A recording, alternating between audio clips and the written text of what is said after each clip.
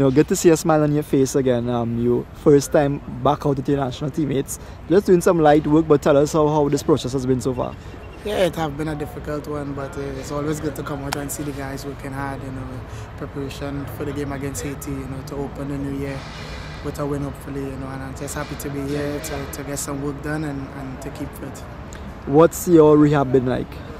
Yeah, it have been very difficult, as I just said. You know, um, six six months. You know, haven't been feeling good, and now and seven, seven going on eight months, and I'm now actually feeling more like myself. You know, finally I'm happy, happy to feel that way, and hopefully I get back in the mix soon as possible. You return to Orlando in a couple days time. What's the process going to be like? What's the schedule going to be like for yeah, you? now was a rest period for me, you know, and still continue a little bit of work. And when I get back there, it's, it's back at it again, two, three times a day in the gym, out on the field, and on the bike, you know, trying to get back to, to once where I was or even better and prepare myself for preseason next season. So you're going to be part of the preseason campaign? Yeah, definitely. You know, um, by, by, by January the 21st, preseason start, and I should be ready and up to go for that, that preseason. What are your expectations in terms of returning to play? When do you see yourself being able to possibly be take the field again? Yeah, well, mentally I'm, I'm, I'm ready, you know, and I still I think I still need a month or two again to, to get more strong, stronger as possible, you know. But I'm, I'm ready to go and, and, and have goals set for, for 2016. What was it like, you know, be seeing Carol in his situation, and, and what do you hope for him now?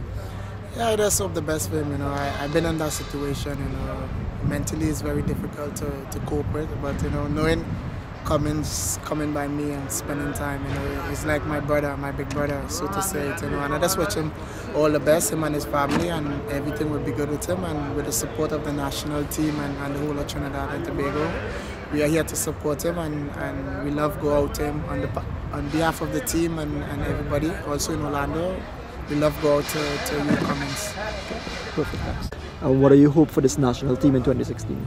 I just hope for the best, to continue doing what we, we've been doing over the past couple of years and, and show the determination and the, the hard work together. And as I rightfully said, we have a family here and once we, we don't let anybody come into our family, I don't see why we can't go the, the full distance. And Orlando City, um, what's their response been like to you over this past uh, few months and uh, what are you looking forward to with yeah, them in very 2016? supportive, you know, I, I have said I, I owe them something, you know, the way how they look after me and they take care of me, not from from just when I get injured, but the first day I arrived there, you know, so I owe them something and next season uh, I will be a bigger asset to the team.